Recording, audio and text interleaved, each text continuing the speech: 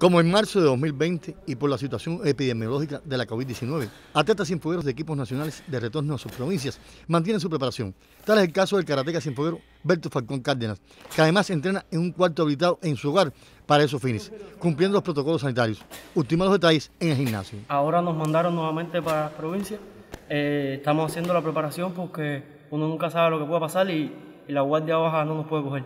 Y tenemos que seguir haciendo ahí entrenando, preparación física, técnica, para lo que se pueda avecinar pronto. Betty King, como lo llaman sus amigos, también es amante de la música y el canto. Ahora, en tiempos de pandemia, ha dado rienda suelta a sus inquietudes artísticas. Grabé una u otra canción para ir aprendiendo lo que es ese mundo, porque a mí me gusta mucho, me llama, siempre me ha llamado mucho la atención.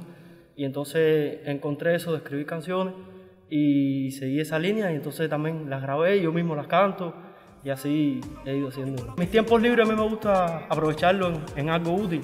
Eh, uno no sabe el día de mañana qué pueda pasar y entonces he ido trabajando por esa línea también de la música. Berto, un enamorado de los catá, ha encontrado diferentes maneras de emplear su tiempo libre. Ya no solo es su pasión por el deporte, a la par encuentra la necesaria relajación que precisa un atleta entre notas y colcheas. Desde Cienfuegos, Permitivo González, Sistema Informativo de la Televisión Cubana.